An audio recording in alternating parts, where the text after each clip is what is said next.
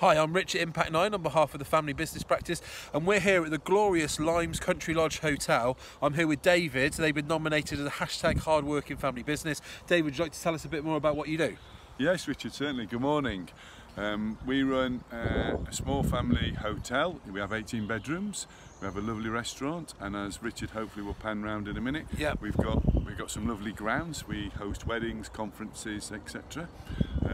Also uh, had a good seminar last night on how to sleep easy uh, because family business very stressful. But we have some lovely accommodation and lovely restaurant, and I think you might be able to see if we can look round. The Limes is set in six and a half acres of grounds and we'd love everybody to come and have a look, especially you family business people. Yeah, I can pretty much vouch for that. The, the grounds are absolutely gorgeous.